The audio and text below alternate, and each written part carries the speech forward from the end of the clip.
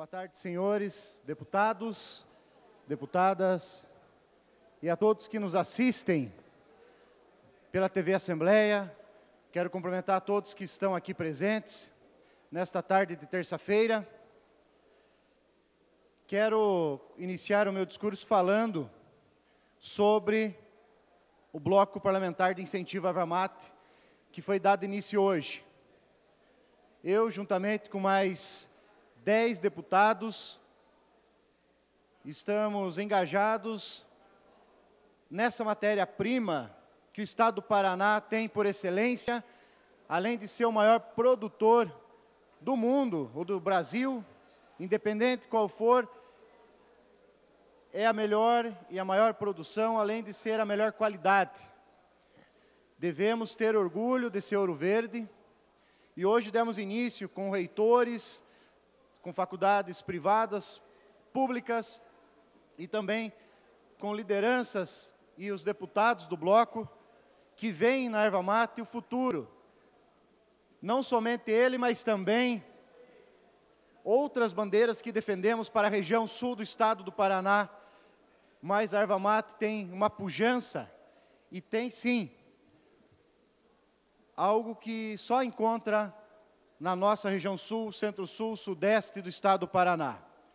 Tivemos também, junto com o governador Ratinho Júnior, com lideranças da região, lideranças da Arvamate, e lá pudemos demonstrar e também requerer o que a classe e também a cadeia produtiva precisa do governo, juntamente com o bloco de erva. Eu agradeço os deputados desde já por estarem motivados, assim como eu, a participar desse bloco da erva mate, também seguir junto com o governo do estado, o Ratinho, o nosso governador, se sensibilizou com a situação e acredito que novos rumos e tempos para esse produto devem surgir.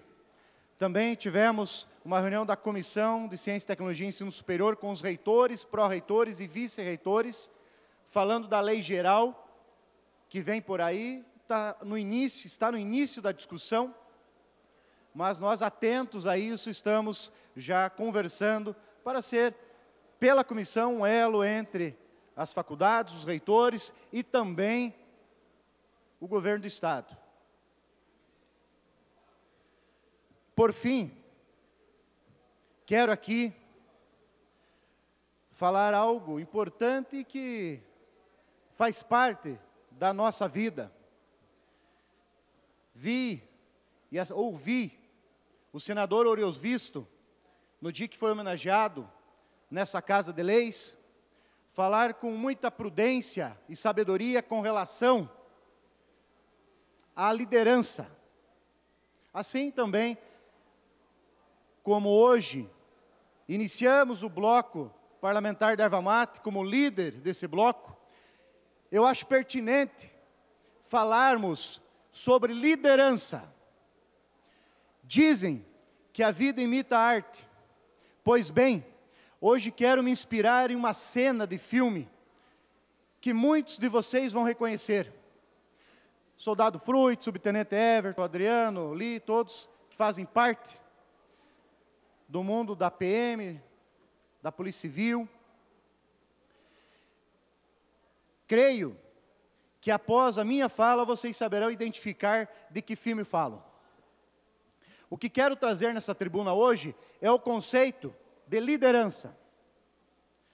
Temos vários conceitos, conceitos como foi tratado no filme que seria estratégia, eu falo hoje por analogia com relação à liderança, liderança em grego, latim, francês, liderança em inglês, seja qual língua for, sempre será liderança. Pois bem, como vocês podem ver, existem muitas formas de se fazer e se falar liderança. Porém, existe somente um jeito de fazer, que é motivando as pessoas, sendo fonte de inspiração, oferecendo oportunidades, cumprindo com a palavra e, acima de tudo, reconhecendo quem faz um bom trabalho. O líder é aquele que se coloca à disposição das pessoas de forma verdadeira, para que elas possam obter resultados. Porque ele sabe que o resultado do grupo também será o seu resultado. Para mim, isso é liderança. Vocês acham que liderança é comando? Liderança não é comando. Liderança é força, resistência e atitude. Força para lutar, para lutar batalhas dignas de um líder e não somente interesses por si, pró, por si próprio. Resistência para saber que mesmo um líder precisa saber aguentar pressões de forma digna e honrada. E atitude para fazer acontecer. Vejo em muitos pares desta casa que, mesmo sem ter cargos de líderes, mostram em seus mandatos a qualidade de um. O que reforço e digo: liderança não é comando, liderança é, acima de tudo, atitude. Atitude que pode servir de exemplo aos que futuramente chegarão aqui, uma vez que estamos deputados e não seremos eternamente. Ou servir de um exemplo a não ser seguido. Espero de coração que tudo que façamos nos orgulhe e sirva de exemplo aos futuros políticos do nosso amado Estado. Muito obrigado.